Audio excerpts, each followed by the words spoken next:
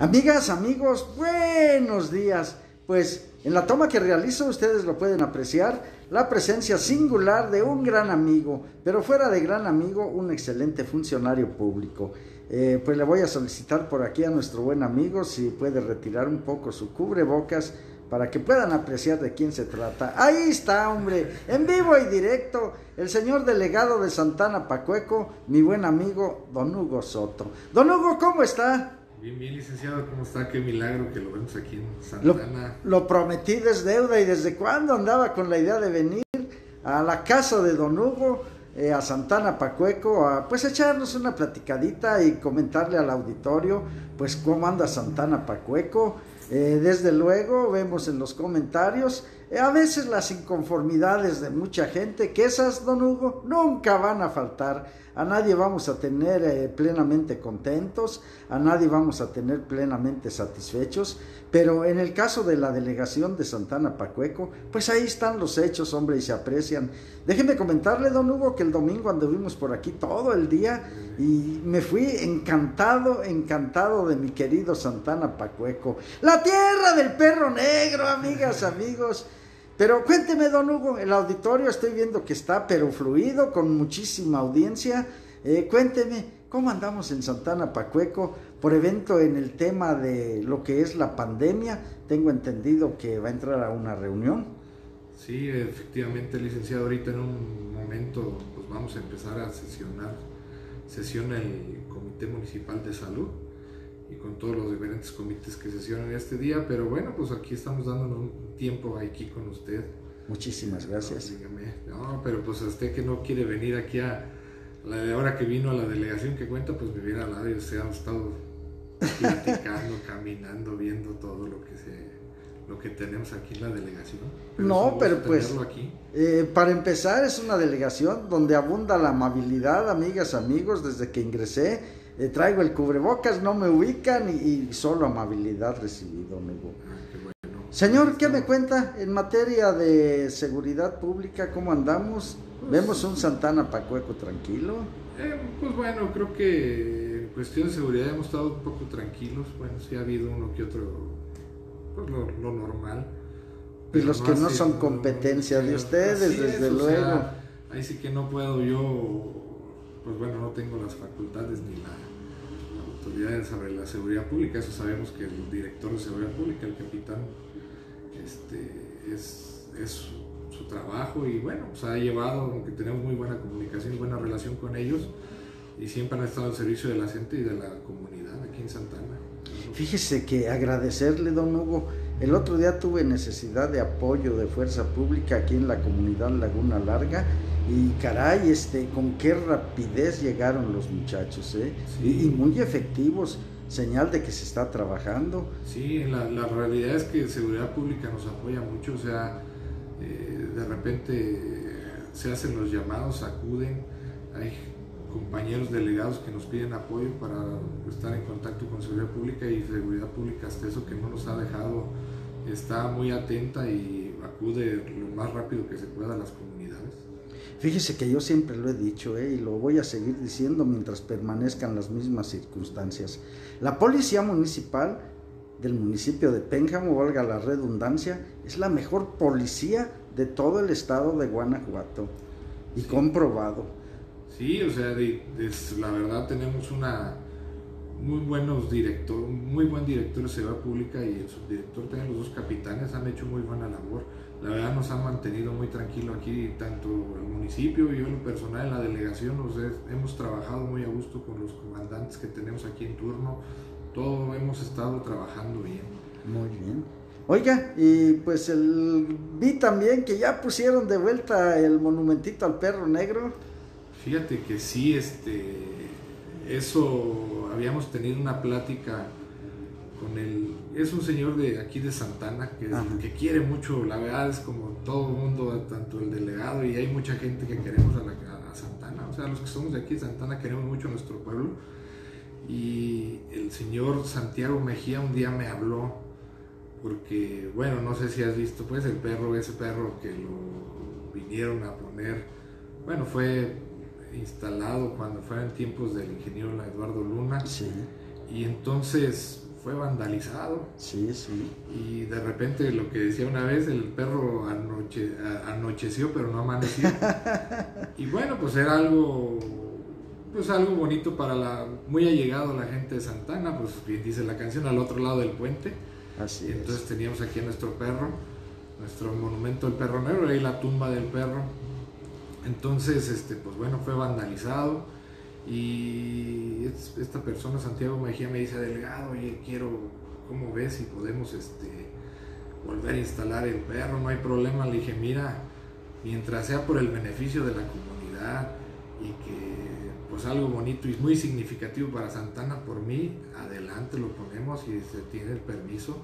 Y ahí, pues bueno, hay prueba de ello, ya tenemos ahí el perro negro ahí ahora hasta enjaulado porque, pues bueno no sabemos pues aunque tenemos muy buena seguridad pero pues no podemos estar ahí 24 horas cuidando algo a veces. Al ícono de Santana Pacheco.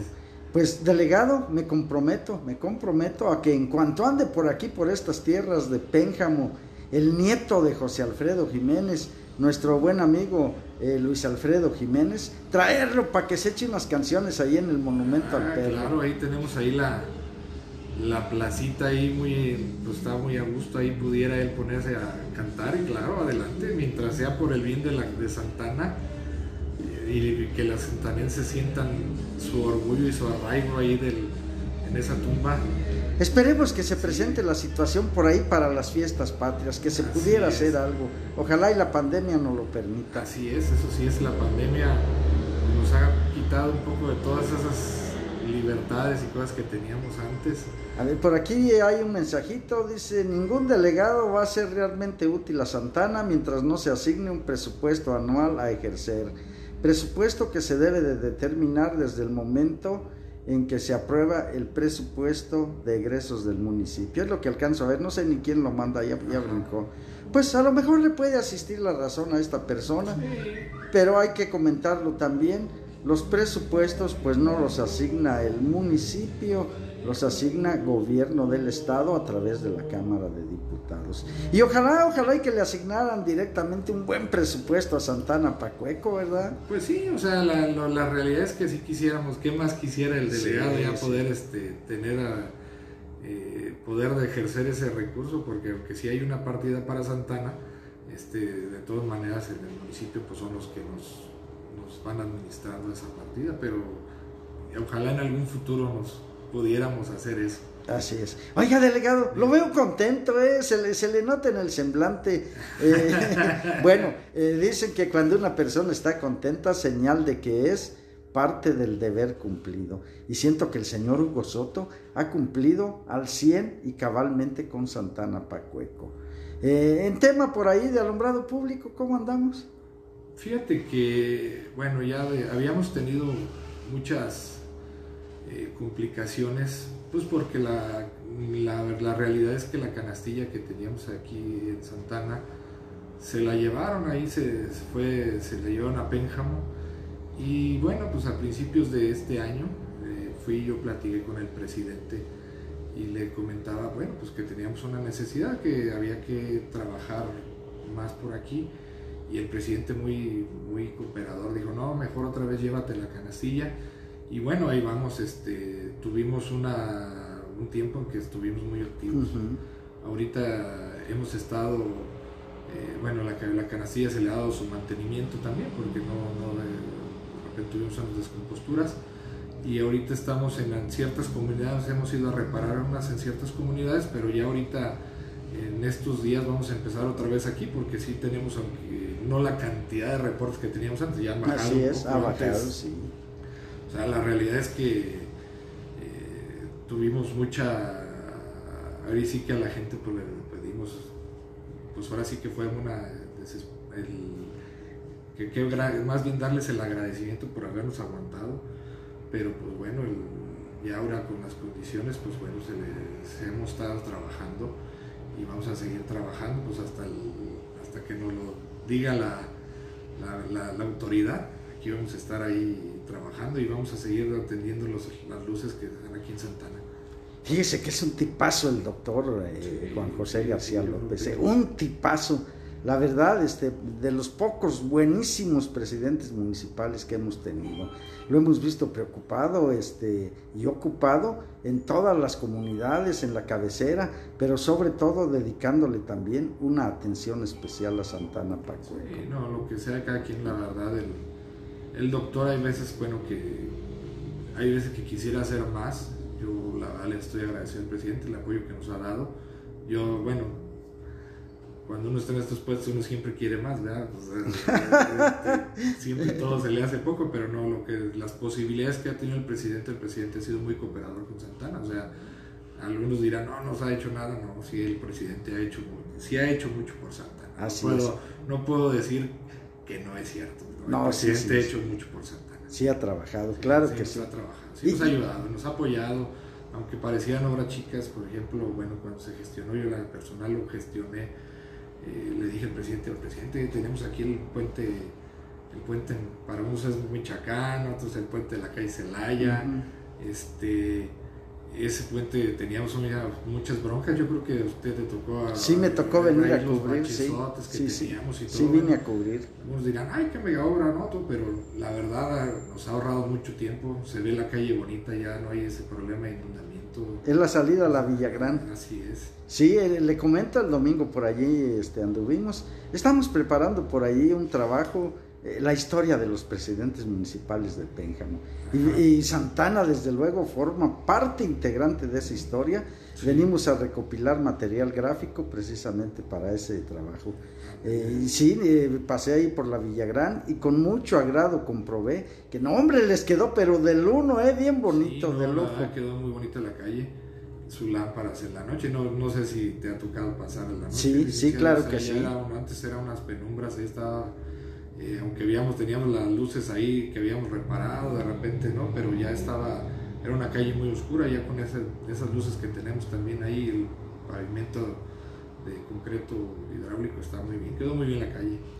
Pues, don Hugo, a esa reunión con el Comité de Salud. Yo sé que don Hugo va a hacer un buen trabajo lo que resta de la administración. Bueno, él se queda todavía otro ratito, ¿eh? hasta que se hace por ahí la elección del delegado. Don Hugo va a estar aquí al pendiente y ahorita pues va a una reunión con la Comisión de Salud para amigas, amigos, estar bien, bien, bien coordinado con las autoridades sanitarias y ayudarles, apoyarles a ustedes en el tema de la pandemia. Eh, ¿Qué le recomendaría al auditorio, don Hugo, en este tema de la pandemia? Ay, jole, bueno, yo les diría que se sigan cuidando. O sea, la verdad, este, bueno, ahorita pues bueno, estamos usted y yo, yo me quité el cubrebocas, bueno, pues para poder hablar, porque no siempre la cámara eh, capta bien el micrófono eh, creo que estamos ahorita en un punto muy crítico, bueno, no crítico ahorita, sino estamos a punto de llegar a un punto crítico, eso es lo, que me quiero dar a entender. Eh, si bajamos mucho la guardia, se nos puede volver a disparar esto. Entonces yo le pediría a la gente que se cuide. Eh, nosotros en su momento trabajamos para, pues, para cuidar esto, de que no se nos disparara, pero pues bueno, en, no se han bajado las medidas, seguimos tomando ciertas medidas, pero la gente de repente pues ya no se cubrebocas, andamos en la calle y vemos gente sin cubrebocas, eh, andan en oficinas, todos sin cubrebocas, yo les recomendaría que se cuiden, cuiden a su familia, no dejen de tomar las medidas necesarias de sanidad, vacúnense, si alguien tiene a sus padres, adultos mayores que no se han vacunado, que los lleve que si nosotros, y yo ahorita en lo personal, bueno, me tocó la de los 40, 49, eh, yo, sincero, yo podría haber dicho, no, no me vacuno, tomé mi labor civil y, lo, y, me vacuné. Y yo creo que todos tenemos que poner nuestra parte a vacunarnos, no podemos bajar la guardia. Este, hay que cuidarnos, cuidar a nuestros adultos mayores, cuidar a nuestros niños. Yo sé que ya mucha gente está harta, desesperada, entiendo que tienen necesidades económicas, pero a lo mejor si esas necesidades ya los dáramos, yo sé que tienen necesidades de trabajar, pero si vamos a trabajar tomando todas las medidas sanitarias, podemos trabajar perfectamente y podemos ayudar a la gente, o sea, apoyarnos entre todos para cuidar la salud de toda la comunidad, de todo Santana, de todo Pénjamo y aquí como estamos en Santana, pues del área conurbana con la piedad, nuestra, nuestra ciudad vecina. Y ya eso sería lo que yo les pudiera decir a la gente, que se cuide y no bajen la Don Hugo Soto, delegado de Santana Pacueco, mi querido Santana Pacueco, municipio de Pénjamo. Don Hugo, que Dios lo bendiga y pues yo sé que va a seguir adelante con mucha entereza, pero sobre todo con mucho amor a Santana. Así es, para eso estamos. Dios lo bendiga. Realmente, gracias.